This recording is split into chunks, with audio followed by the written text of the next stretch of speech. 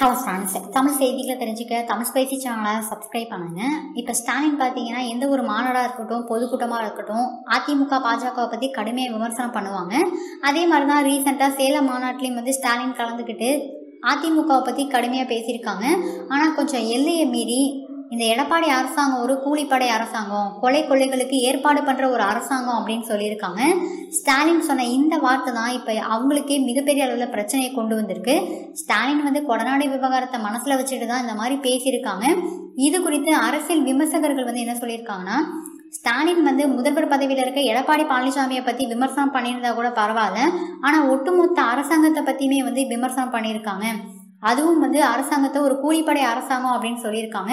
இந்த மாதிரிலாம் வந்து சொல்கிறத கண்டிப்பாக வந்து ஏற்றுக்க முடியாது. அதுவும் இந்த மாதிரி ஸ்டாலின் அரசாங்கத்தை பற்றி விமர்சனம் பண்ணுறதுனால மாநிலத்துக்கு தான் வந்து கெட்ட பேரை ஏற்படுத்துது.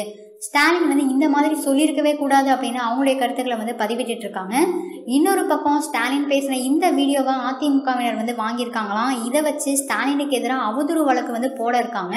அதுவும் சாதாரணமாக கிடையாது. ஸ்டாலினை கைது பண்ணுற அளவுக்கு வந்து கொண்டு போகணும்.